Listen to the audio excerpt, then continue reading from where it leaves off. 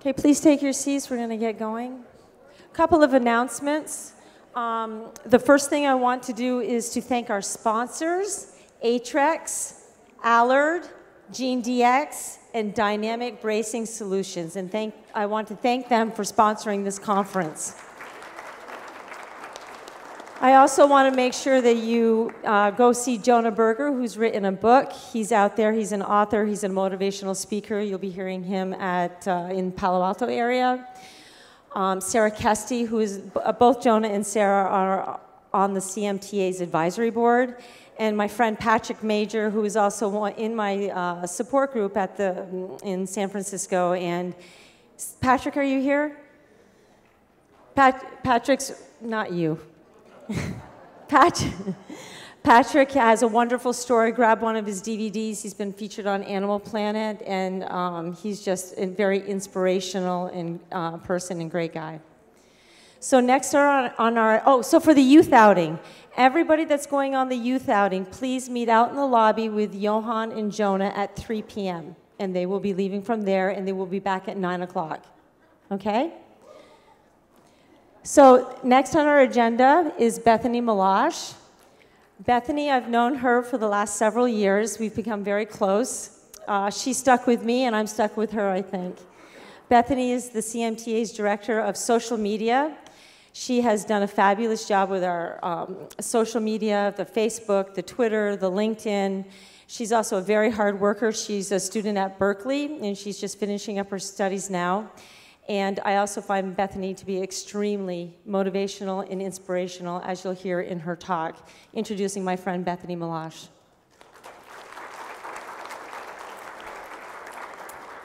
Thank you, Elizabeth, for that nice introduction. It is such a pleasure to be here speaking to all of you. I remember my first CMTA conference, it was in Detroit, and I was 15 years old. And I was a little apprehensive. This was the first time meeting a bunch of other people with my disease, and I didn't really know to what to expect. When I first walked into that conference room, I spotted a man walking past me. And he was a sort of normal looking, nondescript man by most accounts, but he had what I recognized as a very classic CMT walk. You know, the one where your legs are going up a little bit too high and I just stood there staring at him. It was a wonderful walk.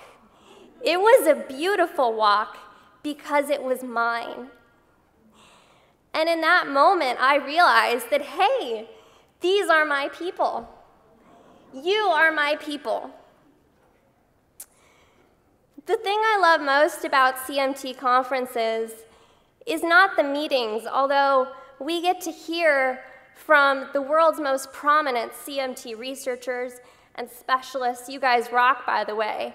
But it's the moments between the meetings, and it's the moments after the meetings when it inevitably devolves into us all sitting around and discussing the shared oddities of our lives. And you know the ones that I'm talking about, the ones that only our people can understand. Like, what is up with Ziploc bags? Right? What sick and depraved mind ever thought that these were a good idea? I'd like to meet him. And you know what? It's kind of nice to be with people who, at one point in their life, have worried about being picked up by a police officer, knowing that they can't possibly pass a sobriety check, even if you haven't had a drink in years. If I'm supposed to put my finger on my nose and my arm out and my legs together, I'm going down. And don't even get me started on trying to walk a straight line. I have CMT, and at least here we know that we are in this together. I didn't always know that I had CMT. Uh, it eluded me and even my parents for several years. This is me when I was seven playing karate. Karate? but by the time I was 12, it became obvious that something was seriously wrong, and a neurologist basically had to glance at me before diagnosing me with CMT type 1A. Most kids stop wanting to go trick or treating because they start feeling too mature, too old. I stopped going because I could no longer climb the couple of steps up to my neighbors' porches. In school, as my abilities decreased, I found myself turning down invitations to hang out with my peers at their houses or go to parties because I was so scared that I would have to face stares and that my classmates might realize how different from them I was rapidly becoming. That all fell apart my sophomore year of high school. This was going to be a really big year for me, and I was excited because I don't know if you've ever seen those ch- cheesy high school movies where you have the girl and she's sort of a loner and no one realizes how awesome she is. And then she has this moment at the prom or, you know, with the play and they realize, wow, she's really great. We love her. And now she's the star of the movie. Well, I was going to have one of those moments, okay? I had been selected to sing the lead solo in the school musical. This was going to be my moment. This is how my classmates would see me. They wouldn't see my disability, they would see me for someone who was one of them and for who could be included in their lives. A week before the play, I was at school with my peers rehearsing and helping to paint the backdrop. Suddenly, while painting, I felt my leg seize up. I tried not to act like anything was wrong because I wouldn't want my peers to realize that I had CMT. But as I tried to shake it out, I fell backwards hard onto my butt. Instant humiliation. And the humiliation got worse once I realized that not only had I dislocated my kneecap during the fall, but I had knocked over at least three gallons of paint. And now I'm laying there injured, broken, no ego left, swimming in blue and yellow paint. As I saw it, my moment was over. My classmates were not going to remember me for my great song in the school play. They were going to remember the girl who fell in three gallons of paint. And I remember their faces as they watched me being wheeled out to the ER. I did still sing my solo, but I had to do so from a wheelchair. And that was a really defining moment in my young life. I felt even more out of step with my classmates, and I wondered how I was ever going to get away from this disease. Shortly after I dropped out of high school and I dropped into community college, I was excited because I promised myself that this was my chance to reinvent myself, to be a new me, a Bethany without CMT. There was only one problem with that plan, which is that I do have CMT. And my fantasy lasted about a week until I found myself at college right in front of this lovely building here on the ground after being taken down by a handicap automated door that was moving a little bit faster than I was. So I'm on the ground, and I look up to see a campus police officer shouting loudly into his walkie talkie, We have a girl down! A girl down! I need backup! Backup! Within five minutes, backup did arrive, two more security guards speeding up in their vehicles lights flashing. These guys clearly had nothing better to do on a Sunday. And declaring that they had been dispatched and the situation is now under control and the girl is now on her feet and doing okay, very loudly just in case anyone on campus hadn't yet heard. this was a dark time. And I started to wonder if this was what my life was going to be like. Would I ever be able to escape this disease, or would my life forever be defined by it? It's an interesting notion being defined by a disease, and I thought, surely I am not the only person in history who has ever faced this conundrum. I want to play a bit of a game with you, and I want in your head for you to try to think about who I'm talking about. What I'm going to do is I'm going to look at three different people from different perspectives and see what defines them.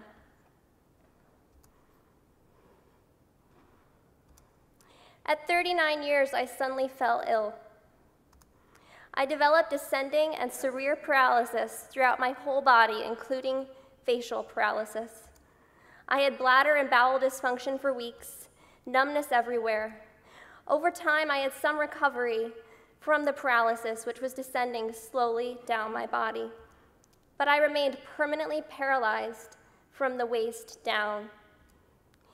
Family and friends secretly believed I should retire, that my career was over, and that I should resign myself to a sedentary life. Let's look at this person from another view. I attended Harvard College. I graduated from Columbia Law School. I got married and I fathered six children. After my illness, I became governor of the state of New York, then president of the United States. My fireside chats and policies brought hope and relief to millions during the Great Depression. I was elected president four times, even though I was paralyzed. I helped save the Western world from the rule of brutal tyrants and mass murderers, from Nazi Germany and Imperial Japan. At the time of my death, I was one of the most powerful and one of the most loved men in human history. My name is Franklin Delano Roosevelt, and my disease did not define me. Let's look at another person. In college, I began to fall a lot. I was diagnosed with a serious motor neuron disease related to ALS. I was told I would probably die before I turned 21. The disease has progressed seriously over the years. I can no longer walk on my own, talk on my own, or always breathe on my own. I am almost entirely paralyzed and unable to care for myself.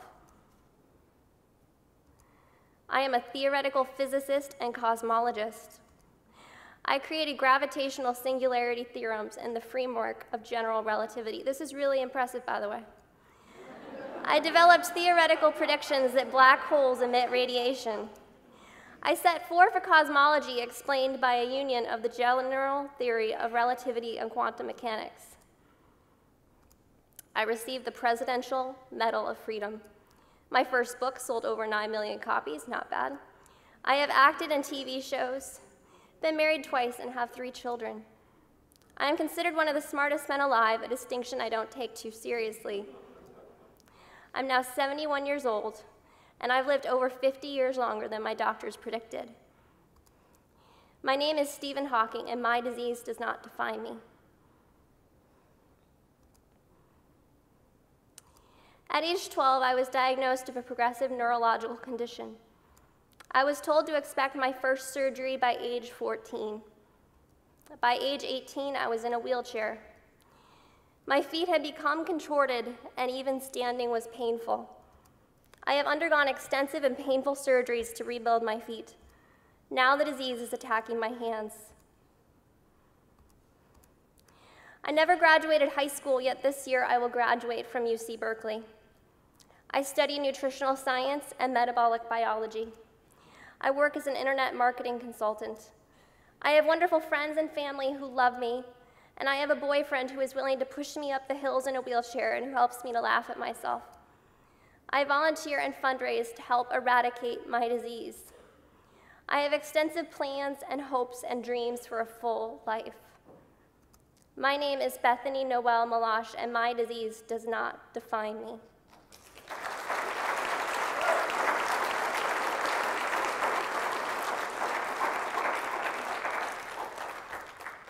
This has become my first rule for living with CMT.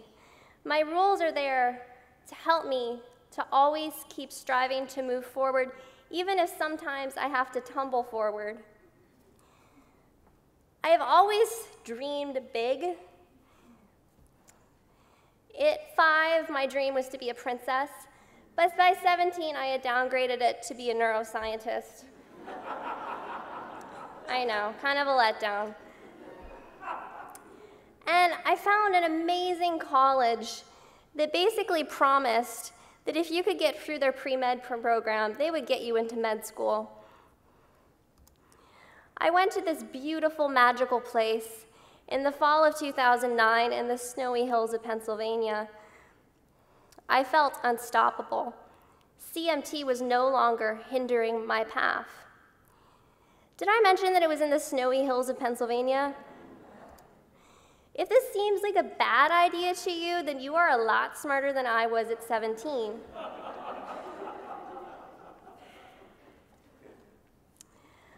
I progressed really rapidly over my first year at Juniata College. By the end of the year, I could not go nearly anywhere without the use of a wheelchair.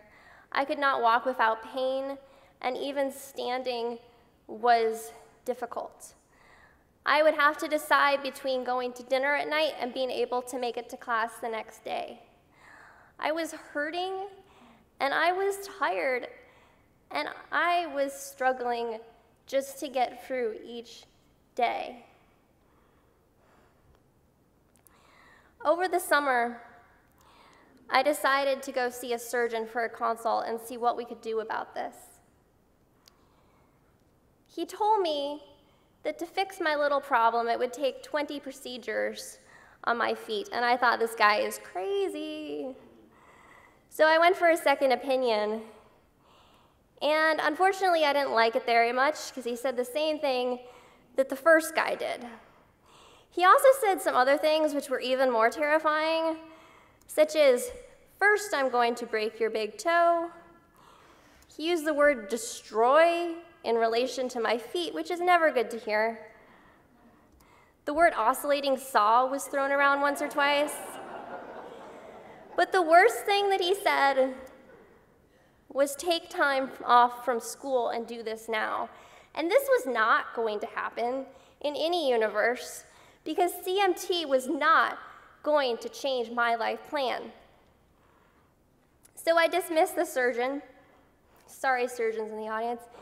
And I decided to return back to Juniata. But two weeks before, I was struggling so much just to go down a step. And my ankles were turning, and I was in tears, and I realized that I can't do this anymore. And so I decided to take time off from school and have the surgeries.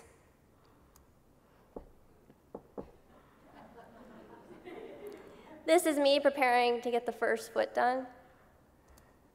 This is the culprit who would be cutting into me shortly. Now, I warn you, if you're a little bit squeamish, you may want to close your eyes for the next picture, um, but I think they're beautiful, so I have to include them. These are the feet immediately after the procedures in the operating room. Very cool surgeon who took these for me.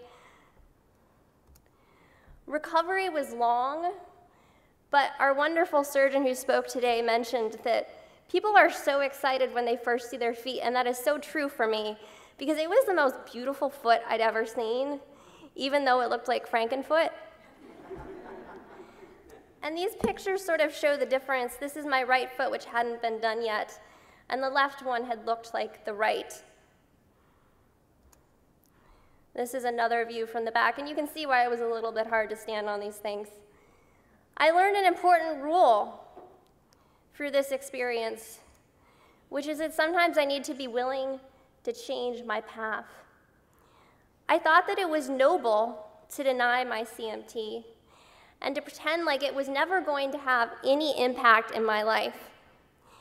But I've come to look at it a little bit differently.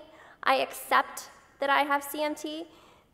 No, I, I accept myself because don't get me wrong, I still have a love hate relationship with CMT without the love. but I have to remind myself that I have it, and sometimes it is going to impact my life, but it is not going to change who I am, and sometimes your new path ends up being better than the one you had originally imagined.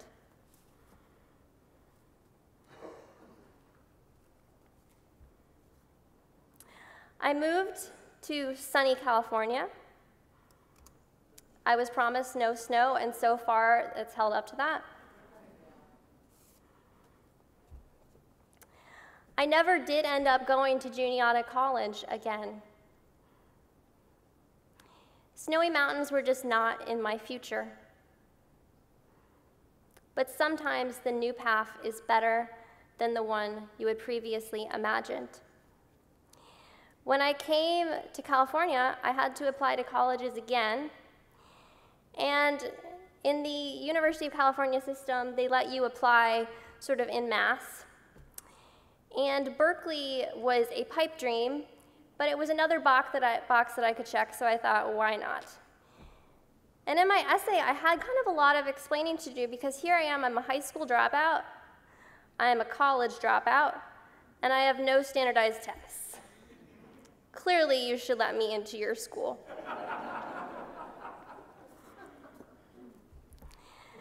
but in the essay, I decided not to hide my CMT because, for better or for worse, CMT has had a huge impact in my life, and so I featured it.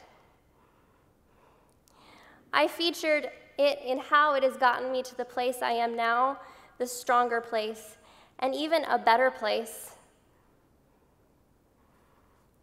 One by one, I started getting rejection letters for most of my top picks for college, and I was devastated.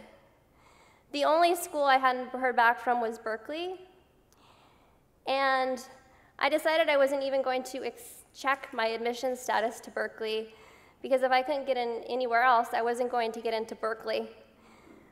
I was sobbing to anyone who would listen about how I was never going to have a future, I was never going to graduate, I was never going to do anything worth value.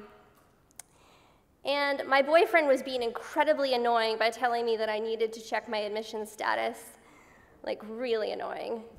Uh, and I checked just two days before the deadline to accept, and I saw, congratulations, you have been accepted to UC Berkeley.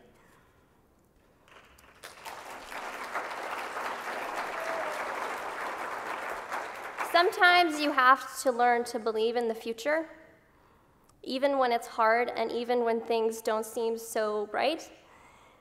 And when you can't, sometimes other people have to believe in it for you.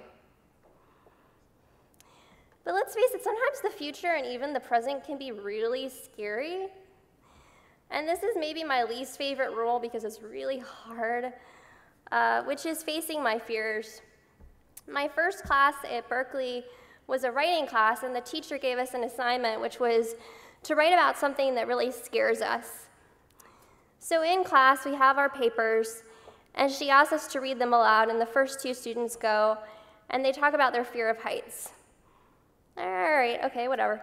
So I go, and I talk about how terrifying it is to walk across the street every day just to get to class about how scared I am that I'm going to fall. And this is a really, like, legitimate possibility, which you guys might understand.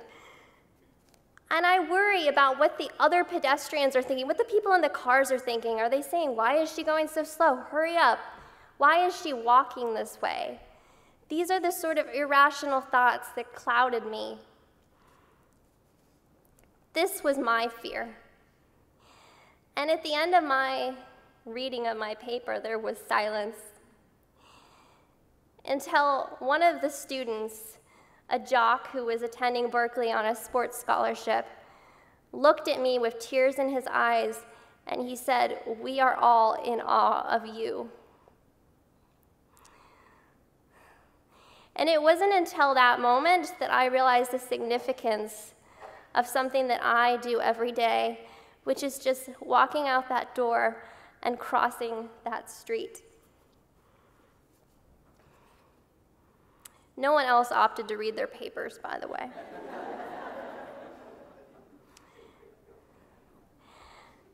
Another fear I have is my disability being on display and what people are thinking and how that might impact what they think of who I am as a person. One of the ways that I've had to force myself to get over this is by showing off my braces. Here's one of my beautiful pairs right there, very attractive. Um, and one day I was wearing my braces, walking up this incredibly large hill on the way to class, and it was about a mile long walk. And I don't have a picture of the hill, but it looked something like this.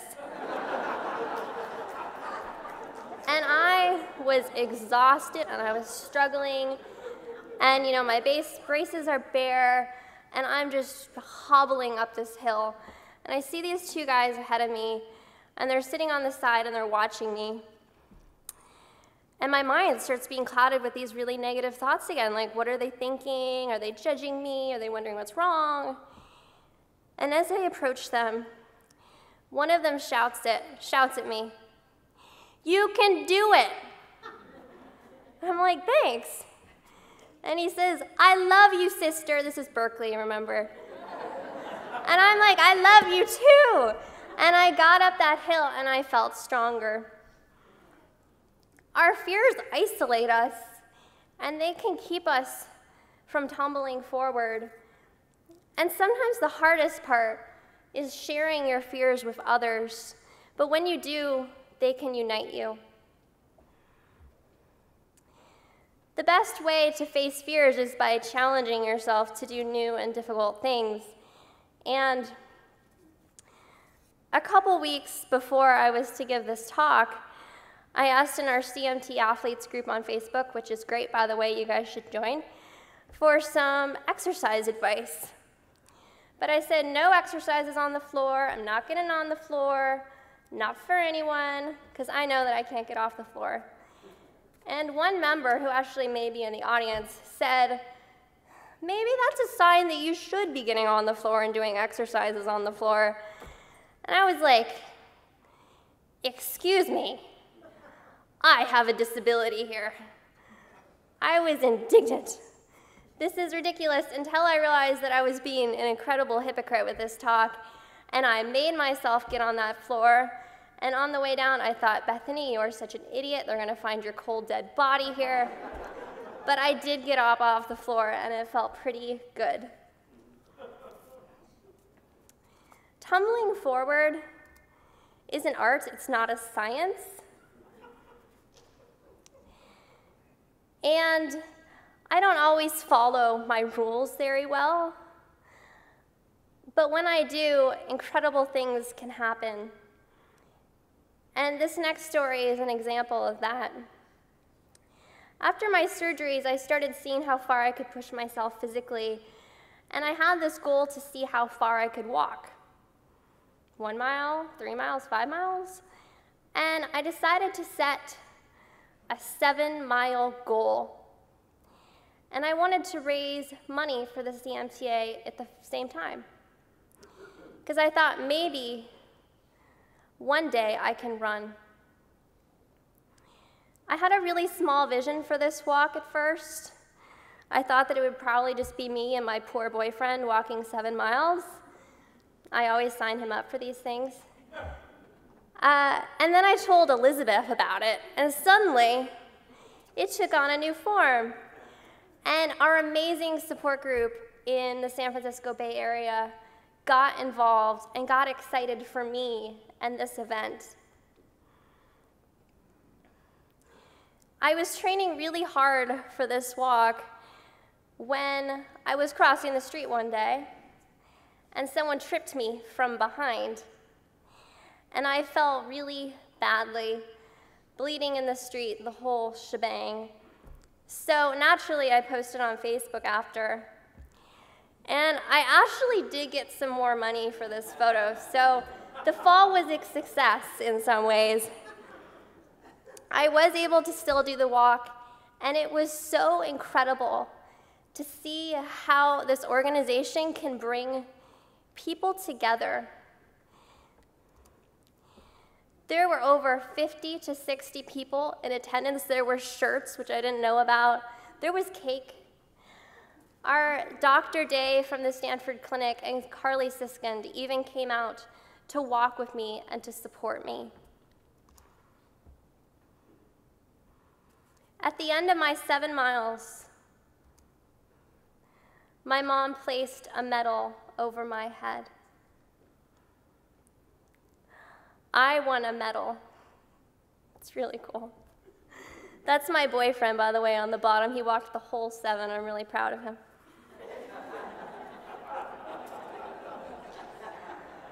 Uh, and we even made the news. We were in the Mountain View Voice, the San Jose Mercury Times, and the UC Berkeley student paper. I had this small vision, and with this community and with all of you, many of you in the audience, this became something so much bigger and one of the most incredible moments in my life. We raised over $9,652 for the CMTA.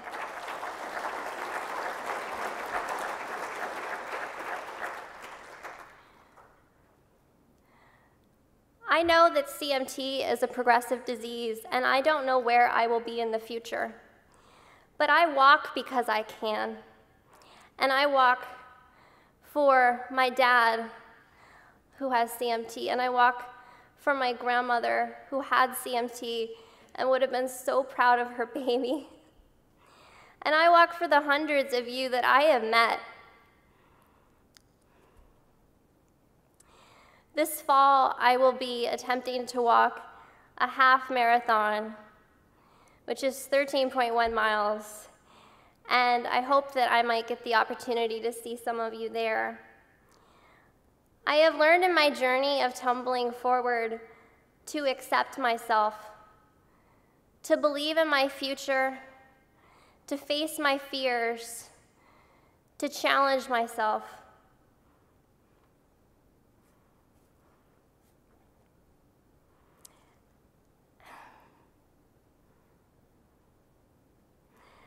And when I do, I do move forward. No matter what happens with me or with CMT, I want to open myself up to what adventures lay after me. It isn't always easy, and sometimes I do fall, literally and figuratively, but I always will get up and I will keep going. Sometimes CMT changes your path.